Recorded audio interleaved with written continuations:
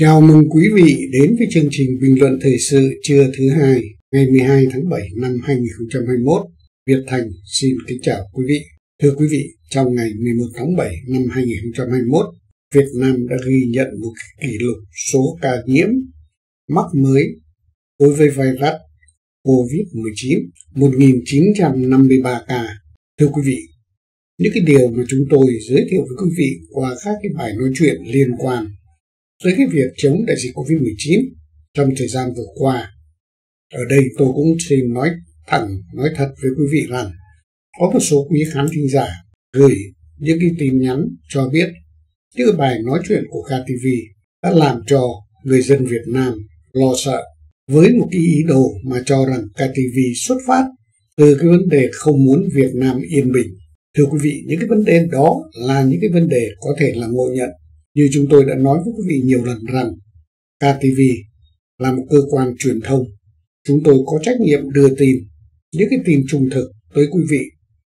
Và trên cái tinh thần là phản biện xã hội, chúng tôi dẫn các cái bài viết, các ý kiến phân tích của các cái chuyên gia hy vọng rằng để cho người dân Việt Nam ý thức được và một cái điều quan trọng hơn là các quan chức Việt Nam nếu người ta có cơ hội tiếp xúc với những thông tin của chúng tôi thì người ta sẽ thức tỉnh. Và thưa quý vị, những cái điều đó trong những cái bài nói chuyện trước chúng tôi đã tiền lượng rồi sẽ có một ngày đó là ngày hôm nay. Thưa quý vị, ngày 11 tháng 7 năm 2021, số ca mắc virus COVID-19 đã tăng cái số kỷ lục. Và thưa quý vị, bắt đầu từ ngày hôm nay rồi quý vị sẽ thấy số ca mắc ở Việt Nam sẽ thường xuyên dao động ở con số 2, 3 nghìn thậm chí 5.000 ca một ngày. Và một cái vấn đề hết sức quan trọng, thưa quý vị, đó là tình trạng bệnh viện sẽ quá tải, đặc biệt là những cái ca nặng có nguy cơ tử vong. Lúc đó sẽ dẫn tới cái việc thiếu các cái phòng cấp cứu ICU và các thiết bị trợ thở. Rồi tiếp đó là vấn đề thiếu oxy. Thưa quý vị, trong ngày hôm qua, số ca khỏi bệnh ở Việt Nam là 71 ca. Và nếu quý vị thấy rằng số nhiễm mới là 1.957 ca 3 ca và sau vài ngày con số gần 2.000 ca đó nó có khoảng một hai trăm ca mà thôi. Mắc những cái bệnh nặng mà phải điều trị lâu dài. Rồi cái vấn đề đó nó tích tụ trong 5 ngày, 10 ngày, 15 ngày, 20 ngày thì cái số ca bệnh phải điều trị trong phòng cấp cứu sẽ là bao nhiêu ca. Và đây là một cái tình trạng phổ biến ở các quốc gia trên thế giới. Thưa quý vị, trong những ngày này, ở Thái Lan đã có hiện tượng phải nằm dưới đất. Hai người chung một giường. Đó là một cái điều chưa từng có trong lịch sử ngành y tế của Thái Lan.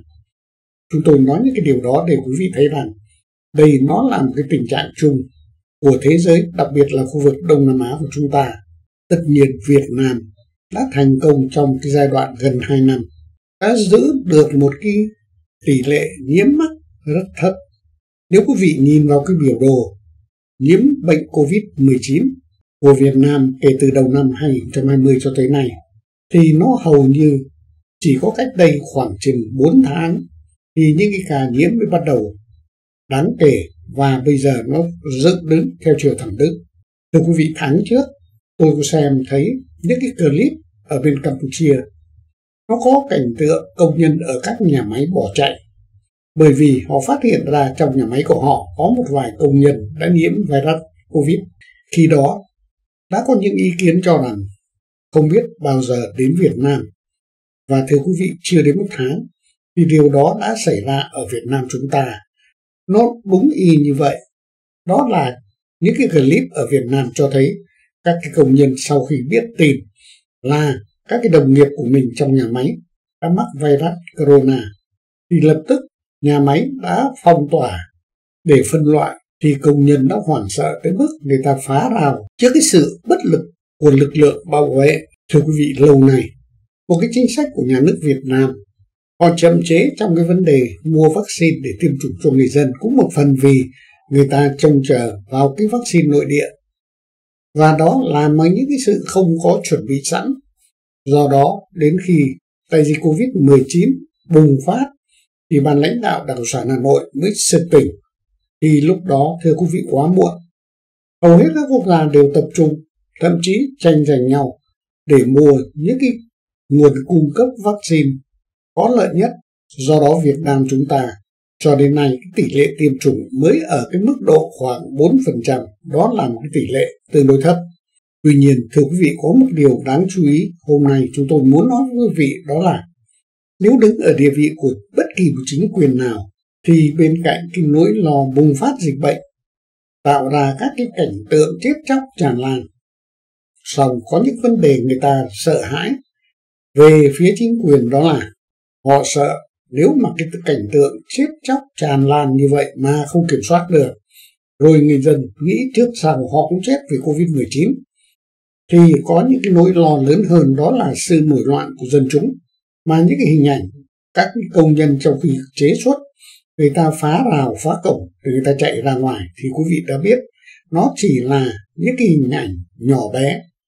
Trong lúc mà người dân vừa đói, vừa hát lại vừa đứng trước những cái nỗi lo chết người, thì điều gì nó sẽ xảy ra? Thưa quý vị, tất nhiên, đối với ở Việt Nam, thì cái việc xử lý vấn đề này đối với chính quyền hoàn toàn đơn giản. Bởi vì người ta có xe tăng người ta có thiết giáp người ta có súng. Thì không dễ. Mà những cái sự nổi loạn đó có kết quả nhưng rõ ràng. Người dân khi ở cái sự cùng quẫn bí bách, thì người ta cũng phải có một cái lựa chọn cuối cùng.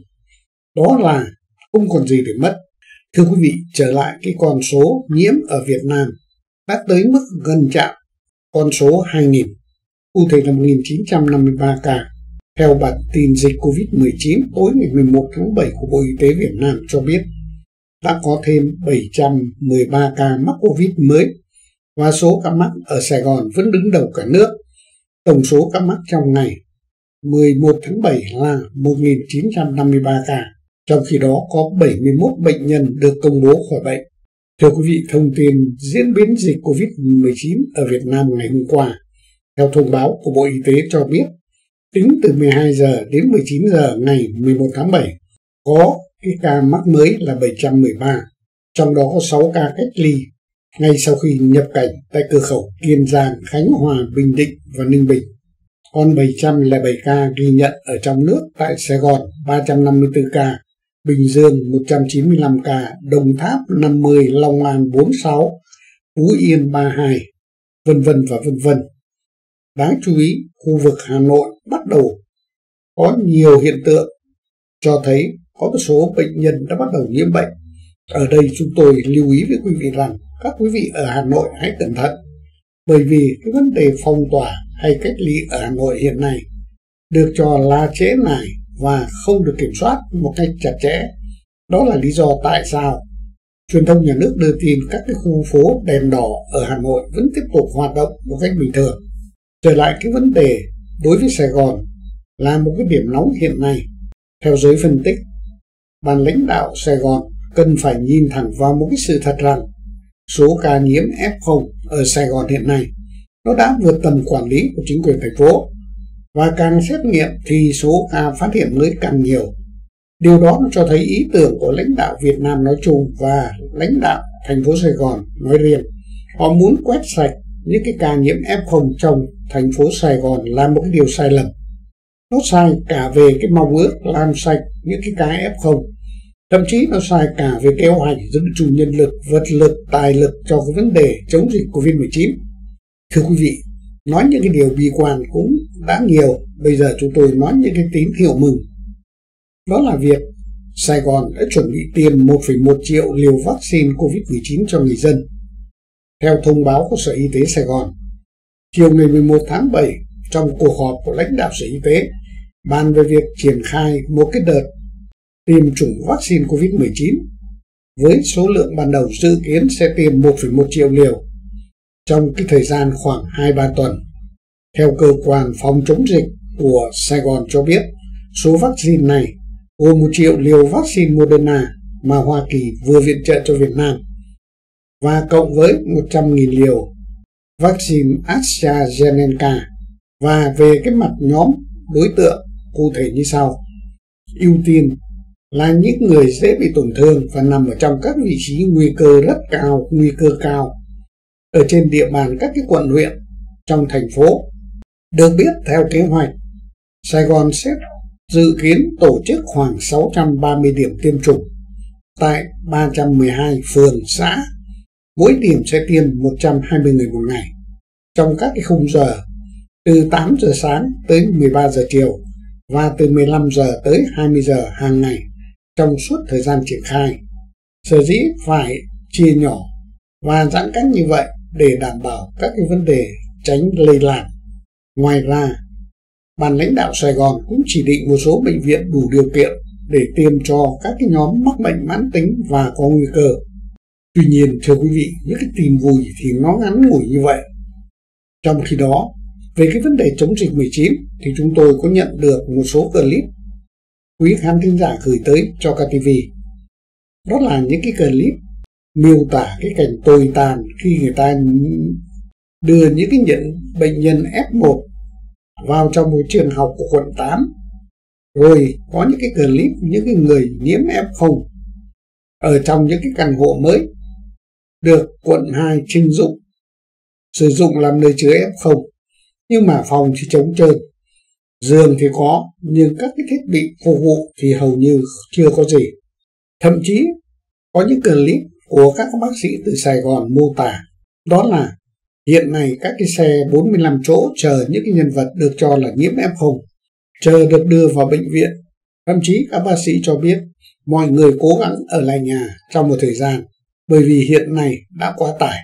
Một cái điểm nữa cần khắc phục thưa quý vị đó là vấn đề cung cấp bữa ăn cho người nghèo. Và với cái cách quản lý của thành phố Sài Gòn hiện nay nó làm cho người nghèo trước đây sử dụng các cái dịch vụ những bữa cơm từ thiện với giá rẻ như 5.000, 10.000 gì đó. Thì bây giờ người ta không cho phép. Đó là lý do những cái người nghèo trước đây một bữa chỉ bỏ ra khoảng 10 sen hay 20 sen thì họ được những cái phần cơm ăn đủ ngon và đủ no. Nhưng bây giờ không cho tụ tập như vậy thì người nghèo người ta sẽ sống bằng gì? Và theo chúng tôi, lẽ ra nhà nước nên tập trung giải quyết vấn đề này phải có những cái điểm cơm tùy thiện.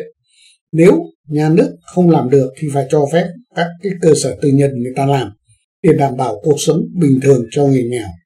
Tuy nhiên, thưa quý vị, hiện nay một số phường, xã ở Sài Gòn họ có đề nghị mua lại các cái phần cơm của các nhóm cơm từ thiện rồi người ta sẽ đi giao cho bà con nghèo. Nhưng một cái vấn đề bây giờ nó là các bà con nghèo thì người ta sống rải rác đặc biệt tới những người bán vé số hay bán hàng rong thì không thể biết họ đang ở đâu. Do đó cái việc chia cơm cho họ là một cái vấn đề rất khó rồi để chia mỗi phường khoảng 500 phần cơm. Đến những người nghèo thì cần phải bao nhiêu người đưa cơm. Nó cái việc nọ, nó lại ra việc kia. Đó là lý do, thưa quý vị, một số cái cơ sở cơm từ thiện. Bây giờ, người ta sẽ phải tiến hành những cái biện pháp gọi là đánh du kích. Họ chỉ mở cửa hé, cửa hàng, để cho các tình nguyện viên của họ với số lượng không đủ, đến thì gọi để lấy cơm mang đi chia cho người nghèo và chia theo lối à, gặp ai ở ngoài đường mà thấy có vẻ khó khăn thì trao tặng cho họ đó là lý do thưa quý vị Mới đây, nhà báo Huy Đức, tức Facebooker Trương Huy Sàn, đã bình luận trên trang Facebook cá nhân của mình. Theo đó, Huy Đức viết, một chính quyền dù vì dân và hiệu lực tới đâu cũng không thể hiểu và tiếp cận được tới số phận nghèo trong xã hội. Những người đến với các quán cơm nụ cười, họ đều là những người chạy ăn từng bữa. Giờ đây thì họ lại thuộc vào nhóm bị cấm không được hành nghề đó là những người bán vé số, bán hàng rong. Trong khi đó quận nằm và chính quyền thành phố thay vì bắt bớ những cơ sở từ thiện hiện nay phải đóng cửa thì nên tiếp sức cùng họ và hay coi các cái quán cơm nụ cười là một lực lượng tham gia chống dịch sát cánh với chứng khuẩn với mục đích đừng để cho người nghèo phải đứt bữa. Thưa quý vị ở đây cũng kể ra một cái trường hợp xảy ra ở thành phố đó là một gia đình ba cha con buôn rau Thế thì đã chót bỏ tiền ra mua rau về thì bất ngờ có một cái lệnh phong tỏa. Và rau thì mua về rồi, tiền trả nhà trọ thì chưa có, vì bao nhiêu là đã bỏ vốn ra mua rau về để bán. Và cuối cùng thưa quý vị, ba cha con quyết định đẩy chiếc xe lôi đi ra ngoài để bán vớt vát cái số rau đó được đồng nào đỡ đồng ấy để mang về trả tiền nhà trọ. Và thưa quý vị, chính quyền phường đã xử lý phạt thì cha con, gia đình nọ đã lo lắng sẽ bị tịch thu xe ôm rồi không có tiền trả tiền nhà và đó là lý do dẫn đến những cái sự manh động thậm chí dẫn tới sự xô xát giữa bà cha con và chính quyền sở tại và thưa quý vị, người ta đã quyết định truy tố về tội, chống người thi hành công vụ. Nó là một cái điều, thưa quý vị, theo chúng tôi là bất đắc dĩ. Song nếu vi phạm pháp luật thì vẫn phải xử lý. Chúng tôi qua cái câu chuyện đó để muốn nói với các quý vị rằng hết sức bình tĩnh. Thưa quý vị, trở lại cái vấn đề chống dịch. Hiện nay, ở Sài Gòn nói riêng và ở Việt Nam nói chung, thì thưa quý vị, có các cái vấn đề cần phải xem xét lại.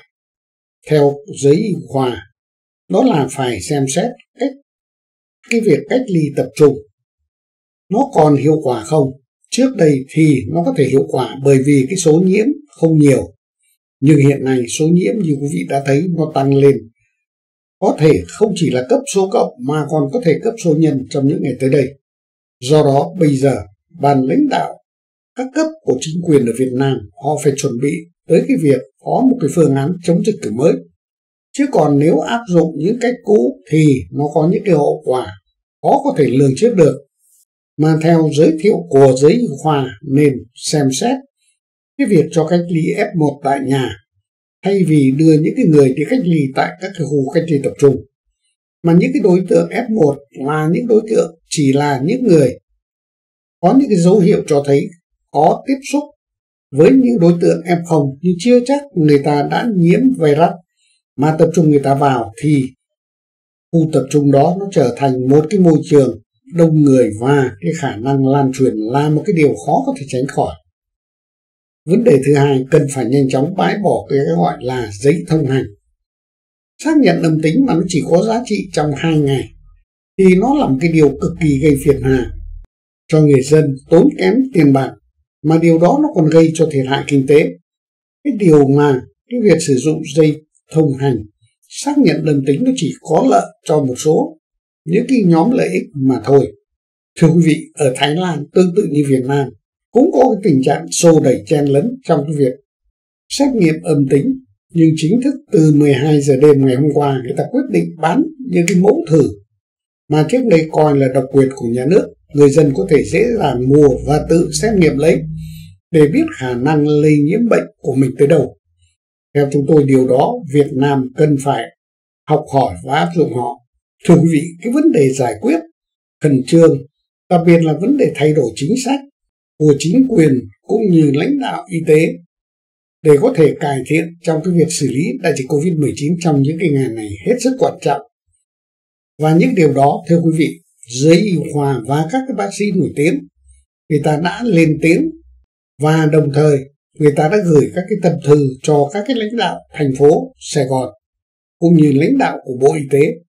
Theo đó, họ thấy rằng Sài Gòn cần phải cải thiện trong việc chống dịch vì nếu tiếp tục cái tình trạng như hiện nay thì chắc chắn Sài Gòn sẽ gặp những cái khó khăn khó có thể lường trước trong những ngày tới. Thưa quý vị, Việt Nam Net có một cái bài viết chăn trở cùng nữ bác sĩ về cách thành phố Hồ Chí Minh có thể cải thiện trong việc chống dịch. Đó là bài viết của Phó Giáo sư Tiến sĩ Vũ Minh Phúc. Theo bác sĩ Vũ Minh Phúc, hiện nay cái việc ngăn chặn dịch bệnh ở Sài Gòn Ủy đã có những cái nỗ lực rất lớn, song nó còn tồn tại một số vấn đề cần phải giải quyết để có kết quả tốt hơn. Theo bác sĩ Vũ Minh Phúc, dường như công tác tổ chức chống dịch không được suôn sẻ. Nó có những cái sự dẫm chen lên nhau, phân công, phân nhiệm không rõ ràng. Biểu hiện cụ thể là qua các cái clip cảnh, cảnh người chen lấn nhau lấy mẫu nhận kết quả ở chợ đầu mối Bình Điền, cảnh ở sân vận động Phú Thọ, người dân chen nhau đi chủng ngừa, cảnh người dân ở trong các cái khu cách ly F1, đó là các trường học, rồi những cái vụ lùm xùm trong công tác tổ chức, thì đoàn sinh viên của trường Đại học Kỹ thuật Y tế Hải Dương vào hỗ trợ. Đó là những cái vấn đề cần phải xem xét rút kinh nghiệm không để tái diễn. Vấn đề thứ hai hiện nay, lòng dân ở Sài Gòn rất hoang mang và lo sợ. Thậm chí rất nhiều người hoảng hốt, đặc biệt là những cái bệnh nhân F0 và những đối tượng F1, F2. Theo bác sĩ Vì Vũ Minh Phúc cho biết, một số người quen của tôi ở huyện Bình Chánh, họ đã liên lạc nói với tôi rằng suốt đêm họ không ngủ được vì xung quanh họ là tiếng còi của xe cứu thương, tiếng loa phóng thanh. Đến những cái khu lân cận để chờ các cái bệnh nhân nhiễm F0, F1 đi trong đêm. Thậm chí người ta phong tỏa các cái khu vực trong thành phố. Điều đó nó gây ra một cái tâm lý của người dân hết sức căng thẳng. Người bệnh F0 thì lo bệnh trở nặng, bị đi cách ly thì con cái, cha mẹ, những người trong gia đình thì ai lo.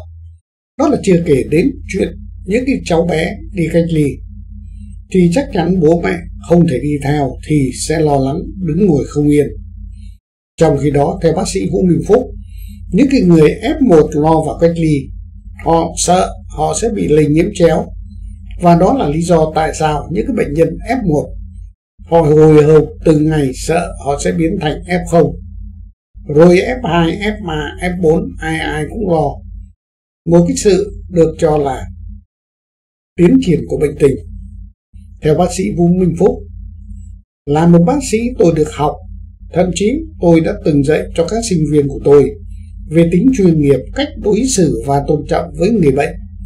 Một cái điều quan trọng là bác sĩ hay các nhân viên y tế phải thấu cảm và thông cảm với người bệnh để làm cho người bệnh an tâm. Phải giữ bí mật về bệnh tật cho bệnh nhân. Song điều đó hiện nay, thành phố Sài Gòn không làm những cái điều đó được xong gần đây cũng đã có những cái tiến bộ đó là họ không còn đăng tên tuổi những người bị bệnh cùng lịch trình của họ trên các phương tiện truyền thông đại chúng. Nhưng vẫn còn rất nhiều mà theo bác sĩ Vũ Minh Phúc cần phải cải thiện hơn. Vấn đề thứ ba đó là ý thức của các nhân viên y tế.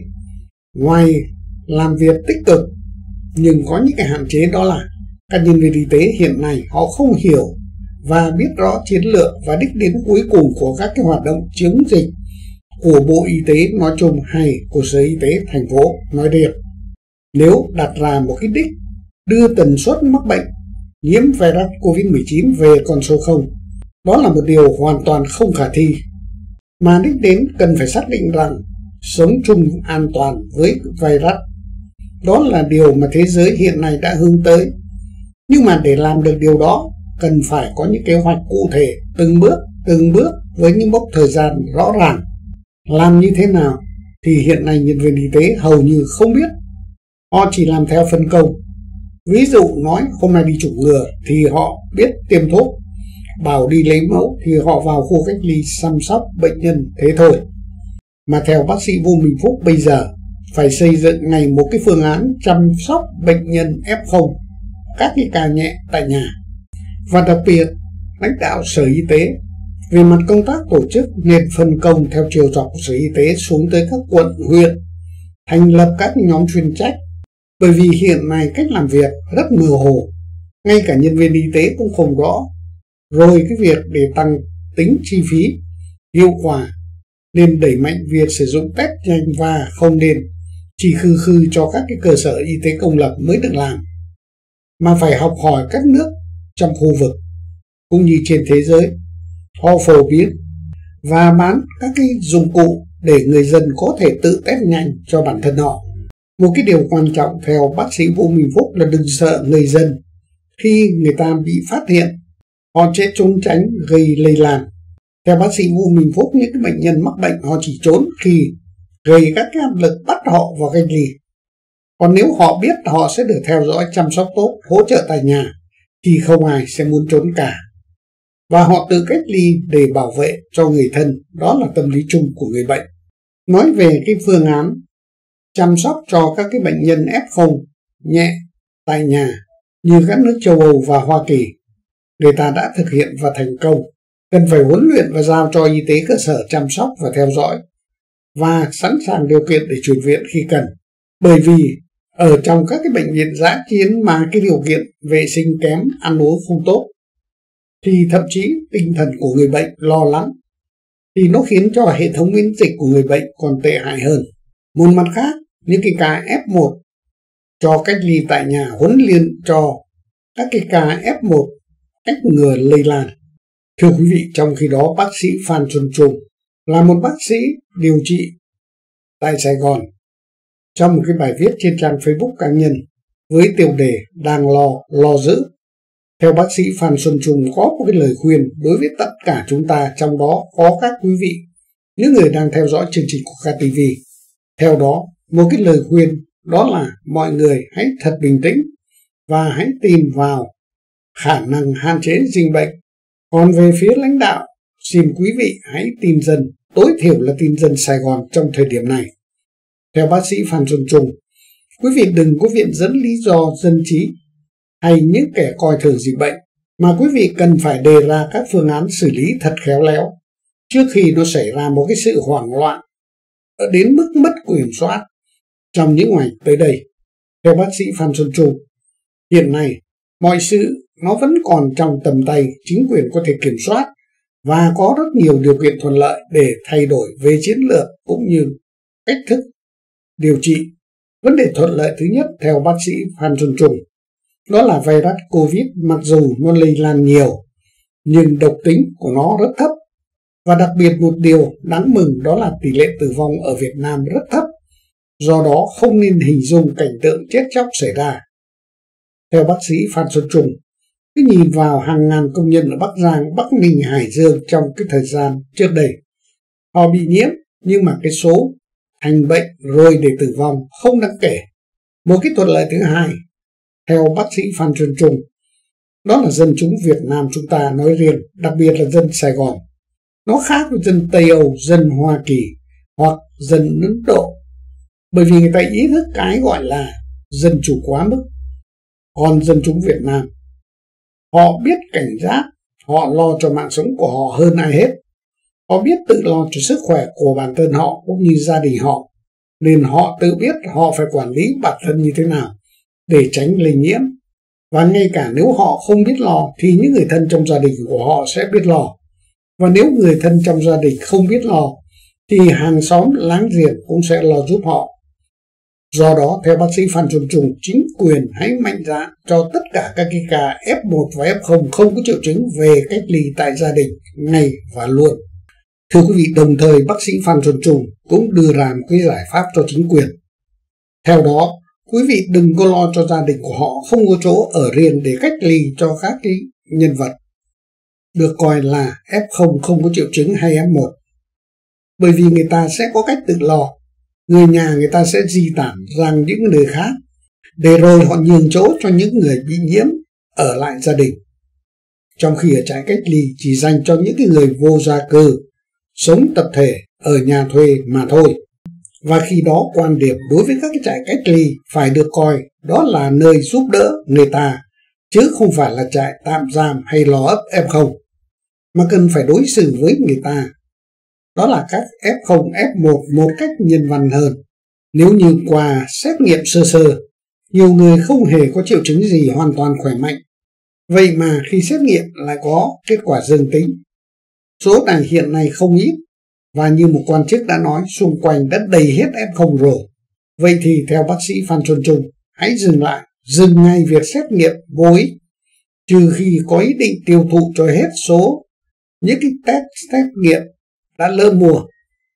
Mà lập tức bây giờ chính quyền cần phải thứ nhất công bố cho toàn dân biết tình trạng lây lan cộng đồng đã vượt qua khỏi tầm kiểm soát của chính quyền. Mật độ F0 trong dân chúng hiện nay rất đồng và rất lây do đó tự thân mỗi người phải tự bảo vệ cho cá nhân họ vấn đề thứ hai phải thông báo cho người dân biết những cái đối tượng cần được bảo vệ nhất là các nhóm người cao tuổi bởi vì hiện nay hầu hết các cái ca tử vong thuộc nhóm này. Do đó có thể xem đây là một cái bệnh nguy hiểm của người già. Đừng có nói đến bệnh nền của người già, bởi vì người già nào bây giờ cũng có bệnh nền. Theo bác sĩ Phan Xuân Trùng do vậy, một mặt bảo vệ người nhà, người già khỏi lây nhiễm, mặt khác phải dồn hết vaccine để trích cho người già đầu tiên. Và tất nhiên phải chấp nhận những cái rủi ro. Một số bồ lão sẽ ra đi sớm hơn khi trích vaccine. Một cái điều quan trọng phải nói, giải thích, giáo dục cho người dân biết là còn virus COVID-19 nó rất hiền đối với những người từ 50 tuổi trở xuống. Và đó nếu xét nghiệm là dương tính thì chỉ cần tự cách ly để bảo vệ cho người khác là đủ. Chỉ khi có triệu chứng nặng thì mới can thiệp về mặt y tế. Theo bác sĩ Phan Xuân Trung, tôi mong rằng chính quyền thành phố và các cái tỉnh thành khác nên quan tâm đưa và thực hiện những điều này. Và sự chậm chế đã dẫn đến việc mất kiểm soát nghiêm trọng trong những ngày tới đây. Và nếu không áp dụng ngay thì có thể xảy ra những điều đáng tiếc. Thưa quý vị, nói tóm lại là đừng quan trọng hóa mà cần phải biết sống chung với cái đại dịch Covid-19. Và người ta nói những người 50 tuổi giờ xuống thì cái đại dịch Covid-19 hầu như không có ý nghĩa. Và với một cái tỷ lệ lây nhiễm rồi gây ra những vấn đề tử vong vân vân thì nó là một cái tỷ lệ rất thấp. Thậm chí còn thua xa những cái vấn đề tai nạn giao thông ở Việt Nam.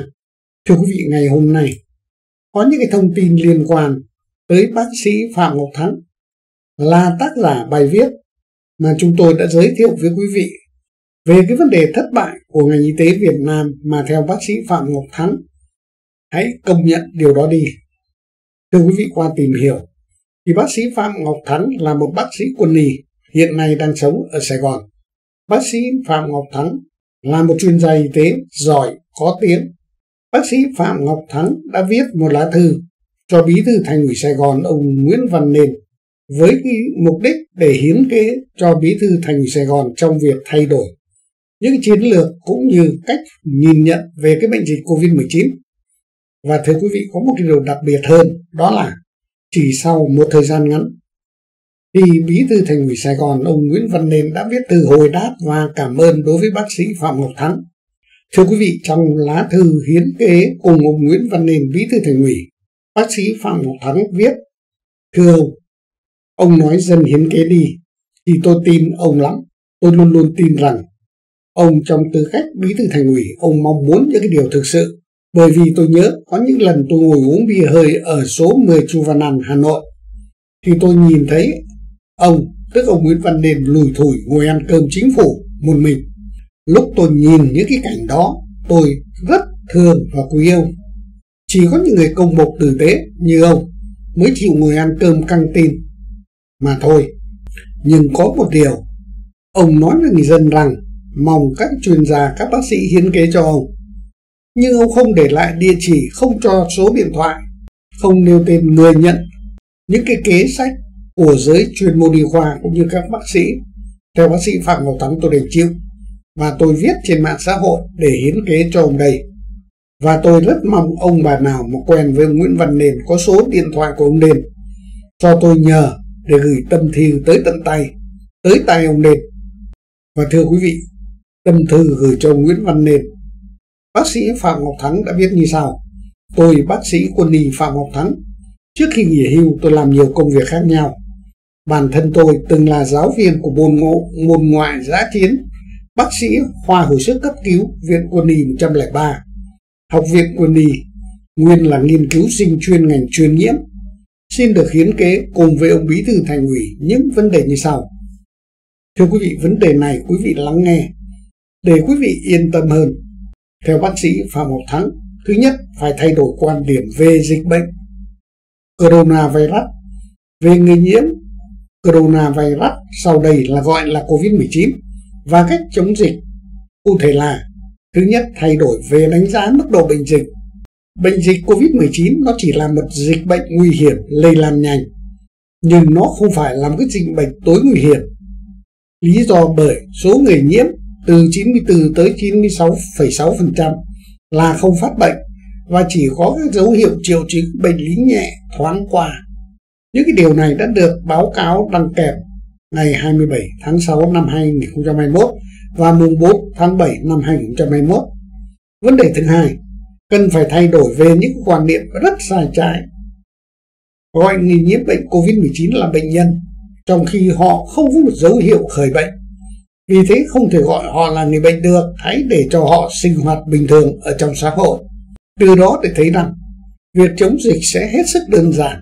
Thay vì truy vết các loại F0, F1, F2, F3, FN vân vân để rồi giam nhốt cách ly những cái loại F thì bây giờ chỉ cần chủ trương theo dõi nhóm người nguy cơ cao đợi những người có dấu hiệu khởi phát bệnh mới xử lý Vấn đề thứ hai, thay đổi cách phân loại xử lý ban đầu những người nhiễm mầm bệnh COVID-19. Theo đó, ai không có triệu chứng bệnh thì để cho họ sinh hoạt và lao động bình thường ở ngoài cộng đồng. Còn những ai có dấu hiệu bệnh thì theo dõi, xét nghiệm, tìm virus, sau đó hướng dẫn họ cách ly tại nhà, cách ly hộ gia đình dưới sự quản lý của y tế phường. Và các cấp chính quyền cơ sở, đó là tổ dân phố, cụm dân phố. Vấn đề thứ ba, ai cần chăm sóc của bệnh viện thì cho họ nhập viện để chữa các cái triệu chứng. Ví dụ như hạ sốt, kháng viêm, kháng sinh chống bội nhiễm, bù dịch điện giải, đề phòng suy hô hấp, suy tim, suy thận. Và sẵn sàng cấp cứu chữa trị kịp thời những cái ca bệnh nhân nặng, chăm sóc ở phòng ICU và chạy thận nhân tạo thở máy khi cần thiết. Theo bác sĩ Phạm Ngọc Thắng, làm theo cách đó thì xã hội nó sẽ không náo loạn, người lao động có thể tự do để tương đối có thể kiếm tiền. Điều đó nó bớt gánh nặng chu cấp cho chính phủ. Một cái việc mà hiện nay nhà nước chưa có năng lực để an dân. Một cái điều quan trọng là tiến hành theo cách vừa kể. Nó sẽ tiết kiệm được các cái kinh phí dành cho việc xét nghiệm đại trà, việc cách ly tập trung ồ ạt, nhốt người nhiễm virus như người bệnh ở trong bệnh viện. Một cái việc làm không thể đã gây quá tải bệnh viện và luôn luôn luôn đặt chính quyền của các ông và nhân dân trong cái trạng thái lo sợ, không đủ người, phương tiện, cơ sở vật chất để chống dịch. Thưa quý vị, theo bác sĩ Phạm Ngọc Thắng, có những việc mà thành phố cũng như Bộ Y tế cần phải làm ngay, đó là một Dừng ngay việc phân biệt kỳ thị người nhiễm bệnh bệnh. Người phát bệnh do nhiễm COVID-19 tất cả đều là đồng bào Việt Nam cả. Xin tăng cái sự nhân ái, hỗ trợ mà bỏ phân biệt kỳ thị người bệnh, gia đình người có bệnh Vấn đề thứ hai, dừng đóng cửa các chợ đầu mối. Việc làm gây khủng hoảng trong cuộc sống của người dân. Mà một cái điều rất đơn giản, không có hệ thống siêu thị nào có thể thay thế được những chợ đầu mối. Đó là nơi cung cấp hàng hóa, nhu yếu phẩm trực tiếp cho các tiểu thương.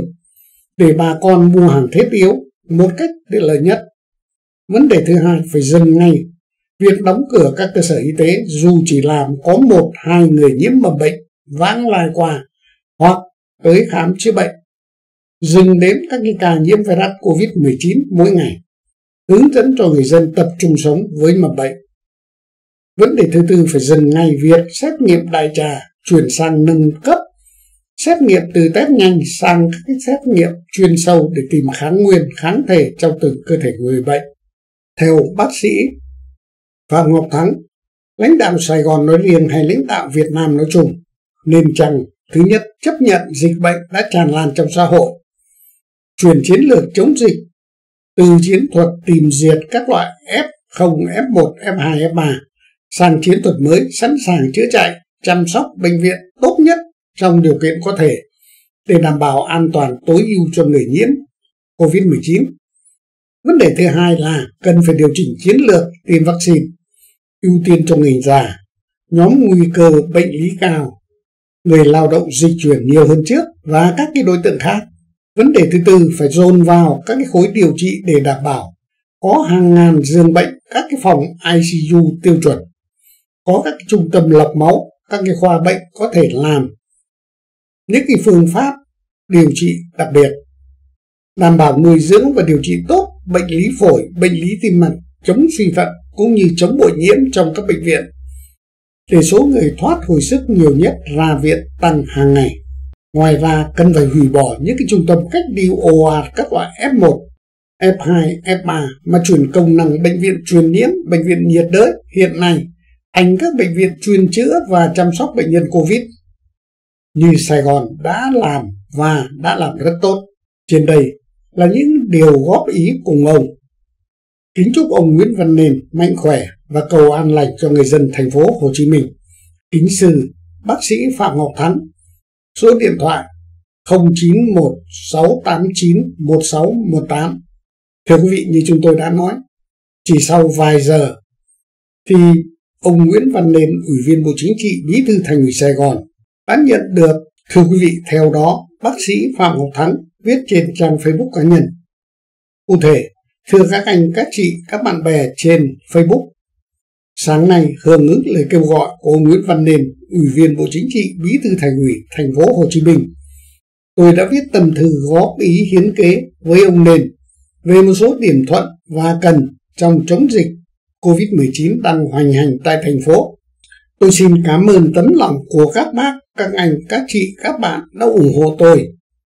Với hàng trăm cuộc điện thoại, tin nhắn, đã hứa với tôi rằng tâm thư sẽ được gửi tới ngài bí thư để ông đọc và tham khảo.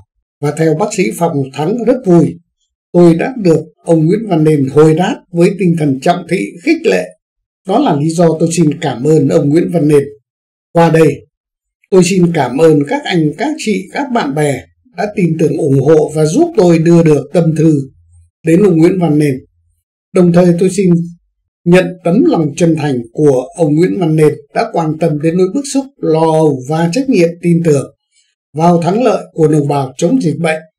Thưa quý vị, những quý vị nào mà quan tâm tới cái vấn đề liên quan tới đại dịch Covid-19 và phương thức phòng ngự cũng như điều trị thì chúng tôi giới thiệu với quý vị tìm đến trang Facebook cá nhân của bác sĩ Phạm Ngọc Thắng.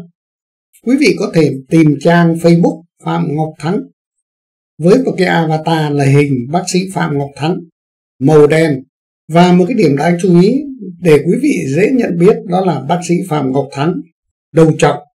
Thưa quý vị, những điều chúng tôi kể với quý vị trong bài nói chuyện hôm nay cho đến lúc này để quý vị thấy rằng những ý kiến phản biện góp ý của các chuyên gia cũng như các bác sĩ có kinh nghiệm nó sẽ là những cái bài học cần thiết đối với các lãnh đạo Việt Nam hiện nay.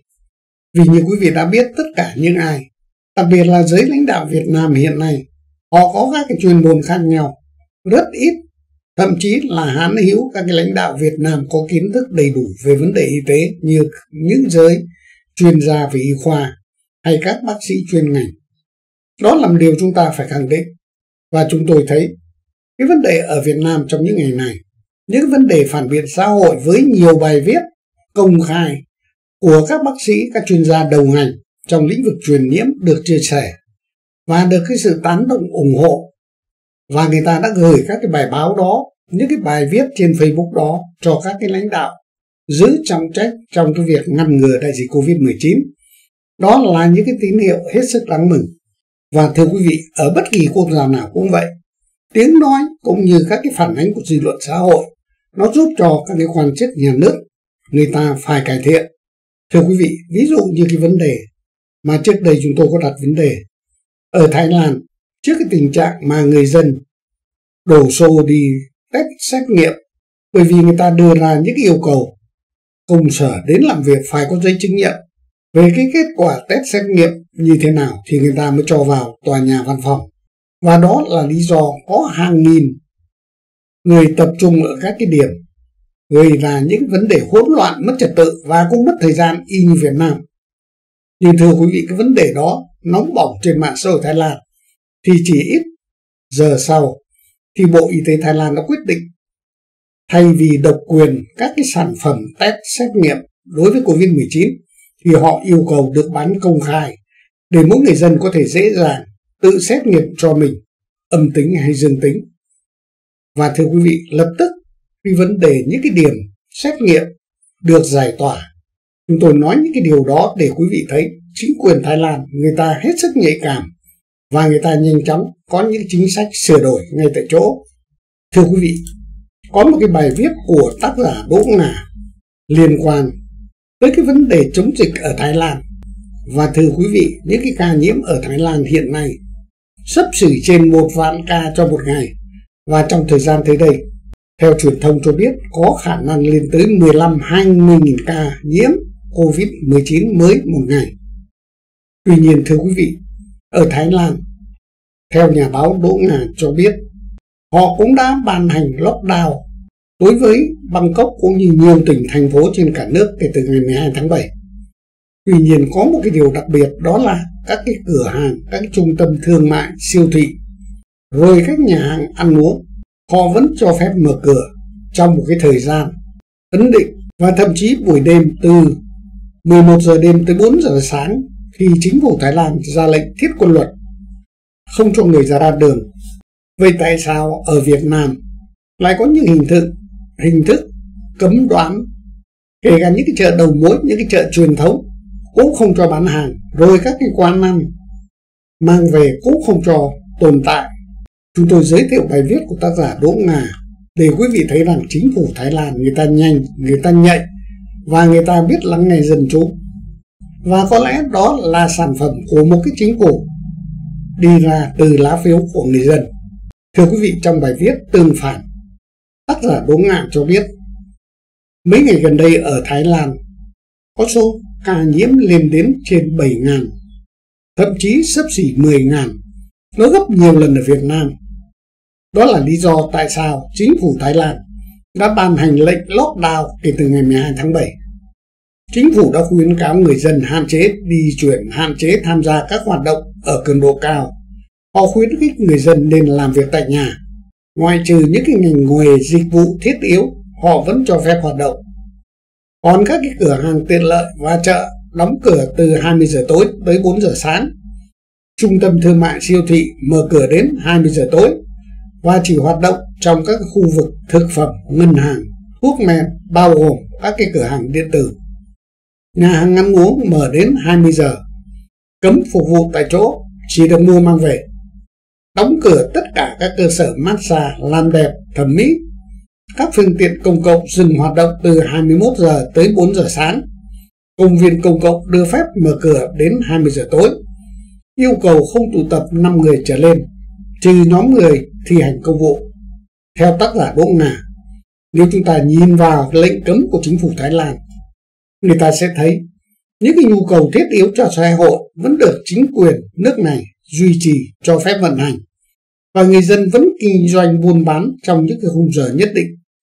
Chính phủ chỉ cấm tụ tập. Trong khi đó Việt Nam chúng ta, khi đảng Cộng sản người ta máy móc đến mức cấm cả bán thức ăn mang về. Và việc này đã dẫn tới những cái hậu quả hẳn quý vị đã biết. Đó là thức ăn đưa tới miệng người dân, xem như đã bị chặn lại tạo nên một cái hiện tượng khan hiếm giả tạo. Cuối cùng để cho bọn gian thương có đất dùng võ. Chưa hết, theo tác giả Đỗ Ngà. Thêm vào đó, làm cái chính quyền lại quy định phải có giấy xét nghiệm âm tính, coi như một cái giấy thông hành trong 3 ngày. Thì điều đó có nghĩa là con đường mang thực phẩm từ ngoài thành phố vào vùng lockdown đã bị bóp lại. Và điều này đã gây nên một cái tình trạng khan hiếm thực phẩm và nó trở nên nghiêm trọng hơn Điều đó có thể nói, xã hội nó như cơ thể của con người mà thôi. Thực phẩm nó như cái máu nuôi cơ thể ấy và sự lưu thông của các mặt hàng thực phẩm nó là các cái mạch máu. Nếu nói hệ thống giao hàng từ bên ngoài cung cấp cho các cái vùng bị lockdown là động mạch, thì hệ thống giao hàng từ các cửa hàng đến mỗi người dân là một mao mạch. Vậy với một cái quy định giấy thông hành 3 ngày và cái lệnh cấm bán hàng mang về thì chính quyền Việt Nam đã bóp luôn cả mau mạch. Một cơ thể mà bị bóp nghẹt động mạch lẫn mau mạch thì cây khởi đó. Chỉ có chết mà thôi. Theo tác giả Đỗ Ngà, nếu chúng ta so sánh với cái cách xử lý của chính quyền Việt Nam và chính quyền Thái Lan, thì chúng ta thấy nổi lên những cái sự tương phản rõ rệt. Đó là chính quyền Thái Lan họ để cho hệ thống mạch máu xã hội tự lưu thông, để cho dân không phải hoang mang xã hội không phải hoảng loạn. Ngược lại, ở Việt Nam khi họ chặn làm cho đời sống của người dân vất vả. Vậy nhà nước nào là nhà nước vì dân thì chắc chắn không phải giải thích thêm. Thì quý vị cũng có thể biết. Tuy nhiên theo tác giả Đỗ Ngà, chính phủ Thái Lan hiện nay cũng bị dân Thái Lan chửi cho vút mặt không kịp. Chứ dân xứ Thái Lan không có cái chuyện tung hồ vạn thuế hay một năm gì cả bởi vì chính quyền là do người dân bỏ tiền ra nuôi họ và tất nhiên chính phủ Thái Lan cũng rất liêm sỉ nên họ không bao giờ vỗ ngược tự xưng là họ vì dân bao giờ cả. Một cái câu hỏi đặt ra theo tác giả Đỗ Ngà tại sao chính quyền Cộng sản Việt Nam lại chặn đường lưu thông phân phối thực phẩm nuôi dân lúc này để làm gì? Và một câu trả lời dễ dàng là Cộng sản Việt Nam họ không tin người dân. Ngoài ra, họ còn muốn trục lợi Họ để cho người dân sống khổ như súc vật thì họ đảm bảo thành tích chống dịch chính nhất quyết không để cho người dân gây ra những cái mối bất ổn để cho đảng không an tâm về những cái điều mà đảng coi là những cái danh hão và lại cộng sản Việt Nam họ cho rằng người dân Việt Nam là dân trí thấp cho nên không có sự hiện diện của chính quyền không tuân thủ quy định. Ngoài ra những quy định quái đản của ban lãnh đạo Đảng Cộng sản Việt Nam đã đưa người dân vào cái cuộc sống cực khổ. Nó còn mang lại lợi nhuận cho những cái đám lấy sân sau của bọn quan chức. Thưa quý vị, để chứng minh, nhà báo Đỗ Ngà đã đưa ra một cái dẫn chứng. Theo đó, ngày 10 tháng 7 năm 2021, báo Tuổi Trẻ cho biết để có một cái giấy thông hành âm tính virus COVID 3 ngày thì người dân phải mất 540.000 cho một lần xét nghiệm. Và đó là một cái khoản thu béo bở. Bởi vì thứ quy định quái đản này nên các cái doanh nghiệp sân sau làm được giàu rất nhanh. Nhưng mà cả xã hội Việt Nam phải sống trong thiếu tốn cực khổ như trại tập trung thời chiến tranh. Và khi đẩy người dân bị lockdown đến cảnh cùng cực thì sự thiệt hại của người dân đã gánh không phải chỉ thế mà thôi, mà nếu thống kê, nó sẽ được lãi rất lớn đó là lý do tại sao những người cộng sản để ăn được một đồng của dân, họ sẵn sàng phá của xã hội 100 đồng, thậm chí 1.000 đồng họ cũng dám làm bởi vì cộng sản họ là như vậy, bản chất là bản chất không thể thay đổi được. Thưa quý vị, để kết thúc bài nói chuyện hôm nay, chúng tôi giới thiệu với quý vị một cái vấn đề chắc hẳn quý vị sẽ hết sức quan tâm, đó là tại sao một số người lại không bao giờ mắc Covid-19 và điều đó nó liên quan tới cái câu hỏi, tại sao số người Việt Nam đang sống ở các nước châu Âu hay Hoa Kỳ họ tử vong vì virus Covid Corona rất ít, hầu như không đáng kể. Trong khi hàng xóm của họ cùng một cái hệ gen trùng châu Âu thì chết lìa lịa. Còn số người Việt Nam ở Nhật Bản chết vì virus cũng thế rất ít. Có những người giải thích do người Việt được trùng lao từ nhỏ nên đã được Chúa Trời hay thần Phật thương ít chết. Và điều đó nó không trở thành những cái đại dịch khủng khiếp như các nước châu Âu hay Hoa Kỳ. Theo bác sĩ Phạm Ngọc Thắng, thưa quý vị lại bác sĩ Phạm Ngọc Thắng giải thích, thỉnh thoảng tôi hay nói đùa, người Việt Nam chúng ta được cô thường nên cô hay tha. Tuy nhiên, nói cái thực sự là hệ gen của người Việt Nam. Nó có những cái tương tác với virus theo kiểu riêng của họ. Ví dụ như có một chuyện ai cũng biết đó là anh tiếp phẩm ở bệnh viện Bạch Mai đã dương tính với virus corona, trong khi mấy bà hàng xóm của anh tiếp phẩm này cũng dương tính khi bản thân vợ anh ta lại âm tính.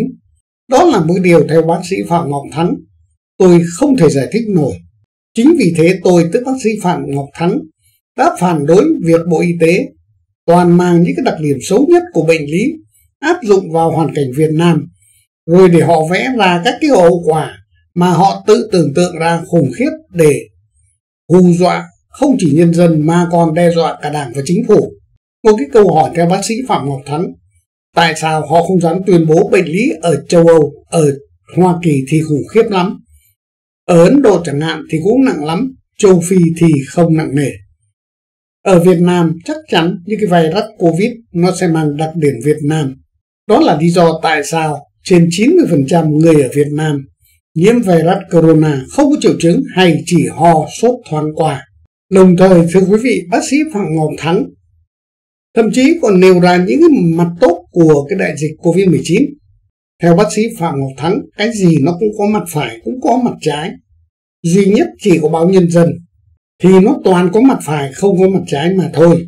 Những cái điều mà dịch COVID-19 làm cho cuộc sống tốt lên có theo bác sĩ Phạm Ngọc Thắng đó là Thứ nhất đối với cá nhân, người ta đã có một ý thức về bệnh tật, về bản thân mỗi người, về số phận của con người và về tương tác giữa người với người được người ta chú trọng hơn rất nhiều. Giờ đây thì ai cũng thương thân thương người hơn nhiều hơn.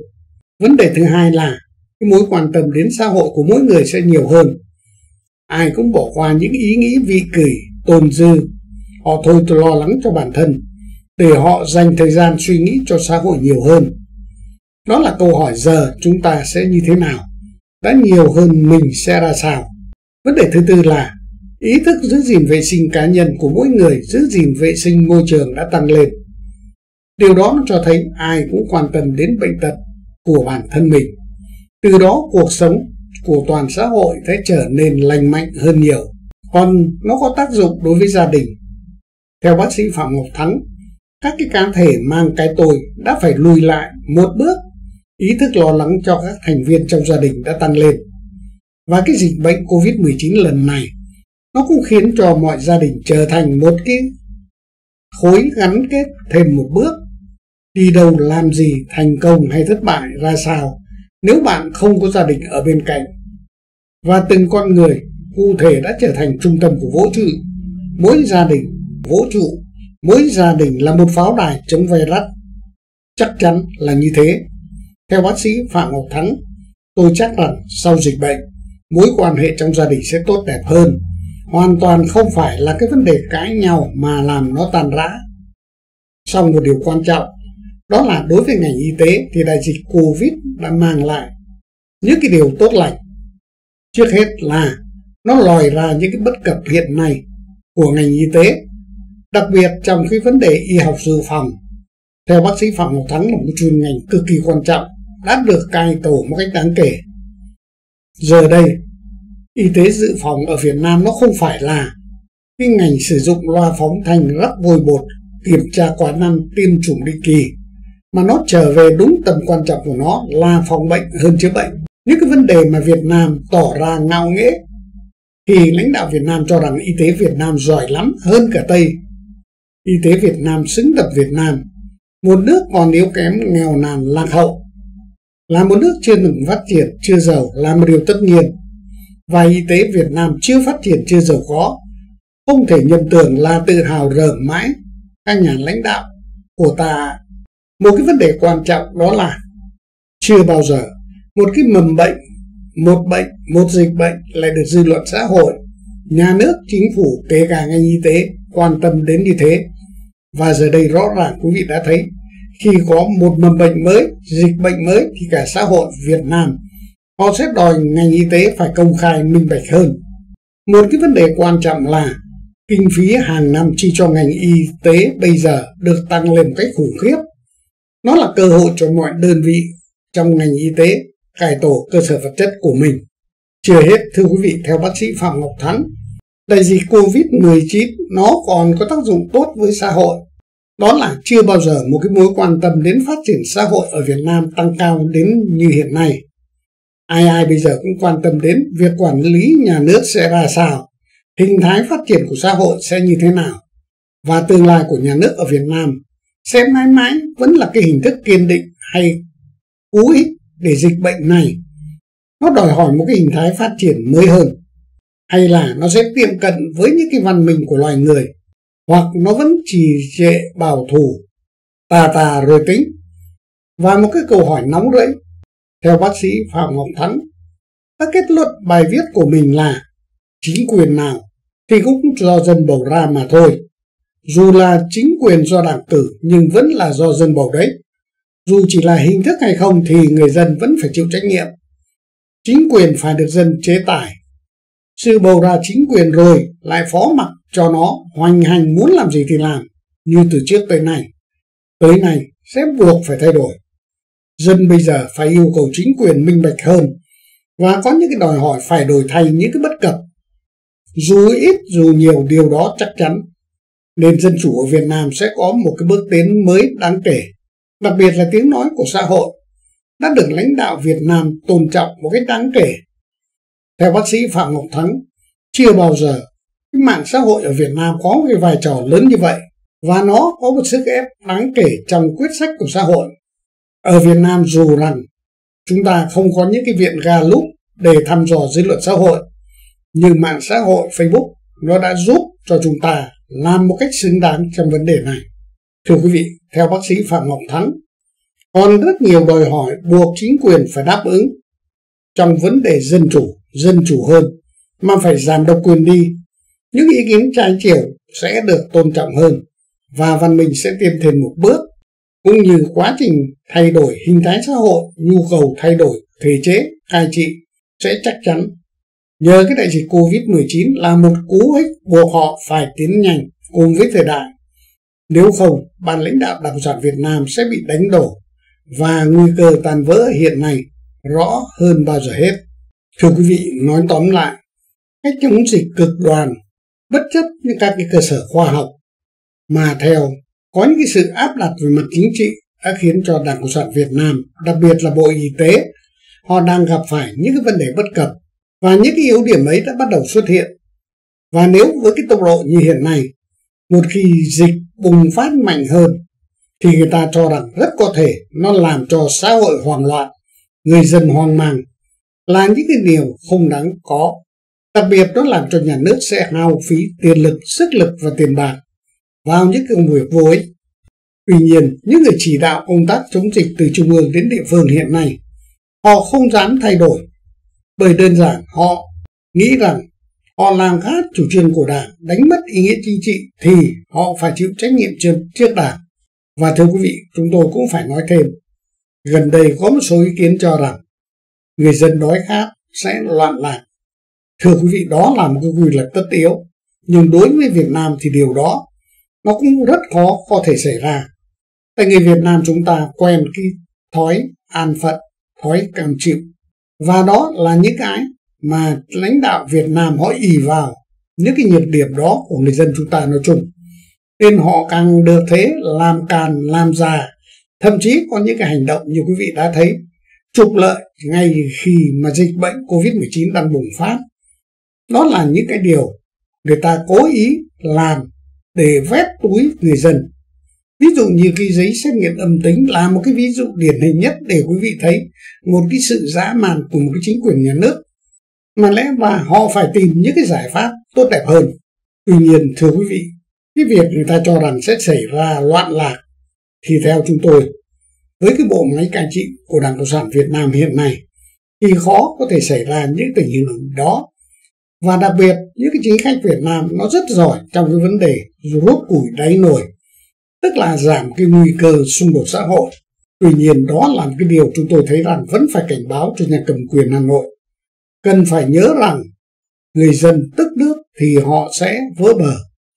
Và ban lãnh đạo Đảng Cộng sản Việt Nam, họ cần phải hiểu rằng một cái thể chế chính trị lỗi thời hiện nay ở Việt Nam, nó không thể chứa được những cái cơ chế hợp thời đi theo những cái đường hướng tiến bộ của thế giới văn minh và cách vận hành bộ máy nhà nước ở Việt Nam hiện nay, nó luôn luôn là như vậy và như quý vị đã biết, hy vọng như bác sĩ Phạm Ngọc Thắng nói rằng, đại dịch Covid-19 nó sẽ tạo ra các cái cú hích chuyển biến, không chỉ từng gia đình, từng cá nhân được coi là những cái tế bào của xã hội, mà kể cả vấn đề xã hội hay vấn đề thể chế chính trị, kể cả Đảng Cộng sản Việt Nam, người ta chắc chắn phải rút ra các cái bài học. Bởi vì thưa quý vị, như quý vị đã biết, nếu chúng ta cứ luẩn quẩn loanh quanh trong những cái sai lầm cũ mà Đảng Cộng sản Việt Nam sai lầm hết bước nọ đến bước kia mà không có những sự đột phá táo bạo nào cả thì một con người hay một tổ chức dù giỏi đến đâu mà bị đặt vào các cái guồng máy cai trị như ở Việt Nam hiện nay thì cũng buộc phải quay theo nó mà thôi. Bởi vì quý vị cần phải nhớ rằng nếu không quay theo cái guồng máy của người Cộng sản thì chắc chắn họ sẽ loại bỏ quý vị.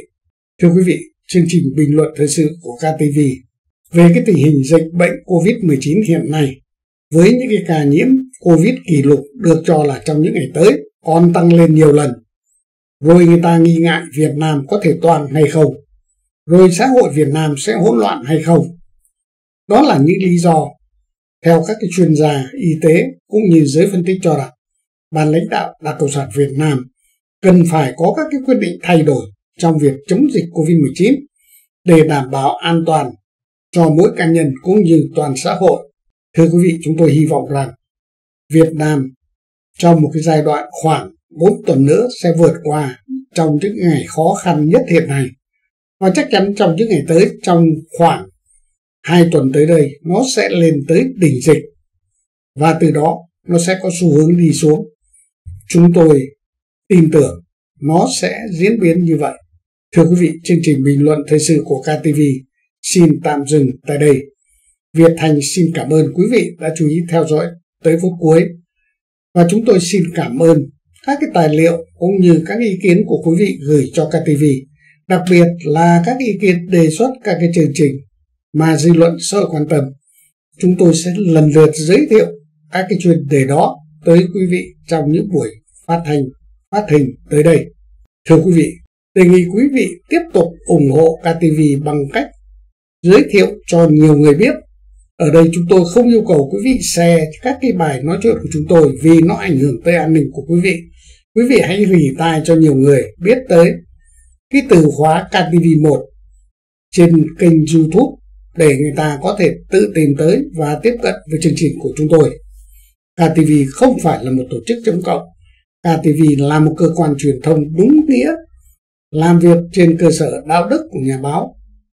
KTV đưa tới các quý vị những cái thông tin nhanh chóng trung thực với tính xây dựng để cho mọi người có thể nhận rõ hiện tình chính trị cũng như mọi mặt ở Việt Nam hiện nay ra sao. Với mục đích của chúng tôi là trong một cái cuộc vận động dân chủ tiệm tiến, thông qua việc chấn hưng dân khí, nâng cao dân trí xã hội, để mỗi người Việt Nam, đặc biệt là giới trẻ, sinh viên, học sinh, có thể nhận thức được tình hình Việt Nam hiện nay và từ đó có thể đặt cho mình cần phải làm gì để xây dựng một đất nước Việt Nam hùng cường trong tương lai. Người dân Việt Nam có tự do và ở Việt Nam có một nhà nước pháp quyền, cai trị bằng luật pháp cũng như công lý được thượng tôn. Thưa quý vị, chương trình bình luận thời sự của KTV xin tạm dừng tại đây. Một lần nữa Việt Thành xin cảm ơn và xin hẹn gặp lại quý vị trong các chương trình bình luận thời sự sau. Xin gửi lời chào, tạm biệt. Bye bye quý vị.